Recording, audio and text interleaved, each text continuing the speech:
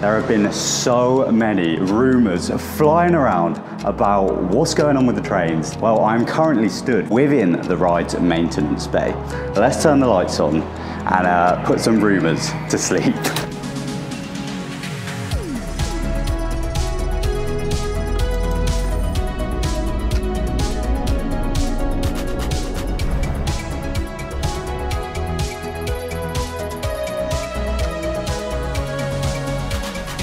Yo, what is going on guys? My name is Jack Silkstone and welcome back to yet another Project Exodus slash Hyperia construction update. I know that the last episode that I uploaded in this construction series was not long ago at all, but as I said, now that we are coming to the end of this project, every update that I'm filming is gonna have some pretty drastic changes in it. And yeah, I've got some things to address in today's video. Obviously, in that last video that I uploaded, I didn't mention the rides trains at all. And there was a reason for that, and I'll be addressing that in today's video and clearing up a lot of rumors that I've been hearing recently. And yeah, I'm also gonna be showing you other updates that have been happening here on site, um, other components of the ride that have been moving, all building up to when this ride tests for the very first time. And as I said, that day is coming very, very quickly. So yeah, today's video should be quite a quick one. But as I said, now that we're coming to some really exciting points in this project, I'm trying to get these videos out as quickly and regularly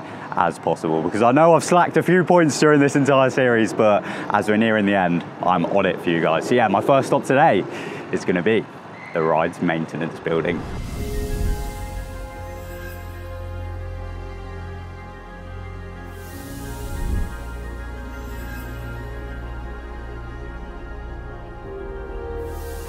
So, as I'm sure you're all aware, in the last Hyperia update that I filmed, I did not mention the ride's trains at all. And there was a very good reason for that. I promise I wasn't just teasing you. Yeah, since uploading that video and even before that, there have been so many rumors flying around about what's going on with the trains and when this thing is gonna test for the first time. Well, I'm currently stood for the first time in these updates within the ride's maintenance bay. Let's turn the lights on and uh, put some rumors to sleep. that was very cool. But yeah, let me pick the camera up and show you what this room currently looks like.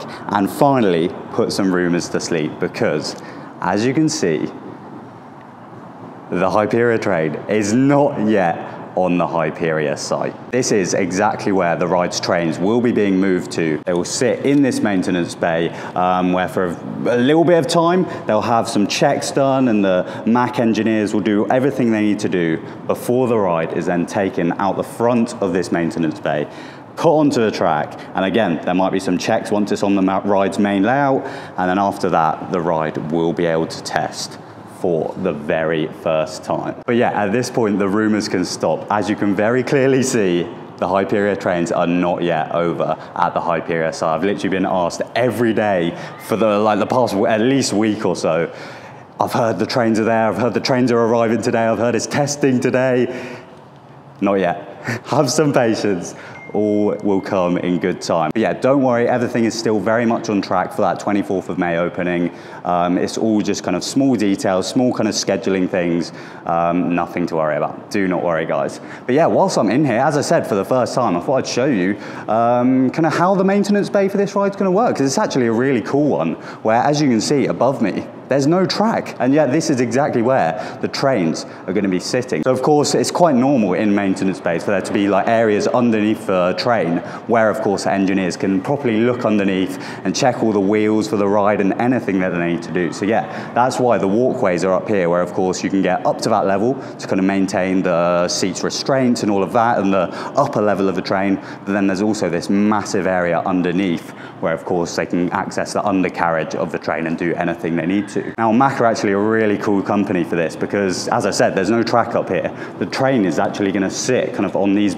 um, steel beams, which means they're able to access the ride's wheels a lot more easier than they would if it was on track.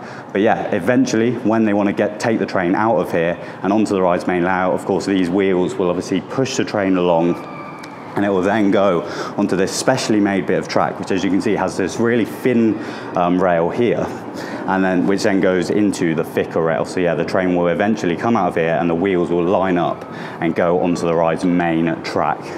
um, and then it will go along the transfer track and of course onto the ride's main layout. But yeah, there you go. The trains are still not yet here, but they will be very, very soon. So be sure to subscribe to the channel for a first look at those trains very, very soon.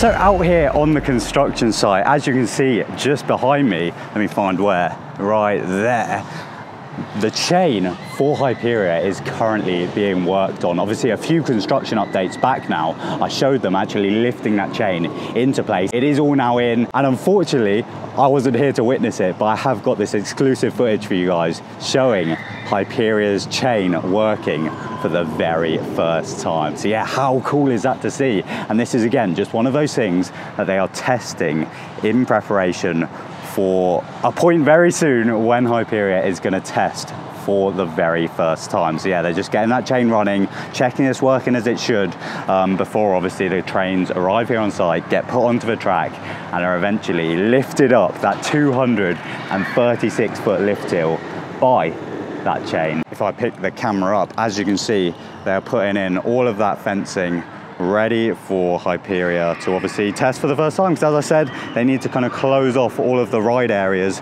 so that the ride can safely operate. Just walk across the very muddy site at the moment. But yeah, all of this fencing is obviously new since the last time I was here. This is the little section that I walked down. And yeah, as you can see, they've started putting up all of the netting. They've pretty much put all of the kind of queue line fencing in place. And yeah, it really is all coming together now. Let's have a little wander down the queue. So yeah, I used to be able to just walk out over here, but we're now fully enclosed within this queue line. So yeah, at this point, you'll kind of be coming up into the ride's um, station as you go up those steps. But yeah, all of this red tape is obviously where they're going to be putting fencing very, very soon. But yeah, things are coming along really nicely now. Like, as I said, every update that I upload from now on, the changes that we're gonna start seeing are huge. So soon, all of the flooring will go down, all of this queue line will be complete, and the trees will start to grow around the lake and everything.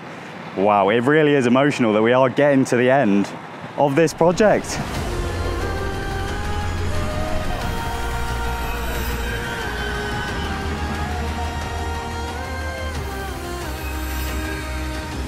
Now another cool update to share with you guys isn't actually within the Hyperia site. Around the boundary of the Hyperia site, um, park facing of course, is the brand new banners that have gone up. So yeah, as you can see, we've now got the brand new Thorpe Park logo, as well as the Hyperia key visual over there. It looks absolutely amazing. And yeah, you've obviously got the big B&E logo. Now B&E, obviously the company that are kind of in charge of this entire project, they actually celebrated their 30th birthday as a company the other day. So a massive congrats to them. They've absolutely smashed this project. And as I've said many times in these videos, they've worked on so many roller coaster projects, not only here at Thorpe Park, but around the entirety of the the UK. I was just talking to Wayne. He was basically saying that every ride in this park, they've had some kind of involvement, he thinks, which is just insane. Like a massive big up to B&E um, and to everyone else here on site. Everyone is absolutely smashing it. They're always so happy and always stop for a chat with me. So I massively appreciate all of the workers that have put up this absolutely insane roller coaster. But yeah, that is the end of today's update. I can't express how much I would recommend you guys subscribe to this channel for the upcoming few videos. Because yeah, some really, really exciting Hyperia things are very, very close to happening. So the videos that are coming out from all of these things are gonna be so exciting and you do not want to miss them. But yeah, I'll leave you all there and I shall see you in those next updates. Thank you all so much for watching. My name is Jack Silkstone. Goodbye.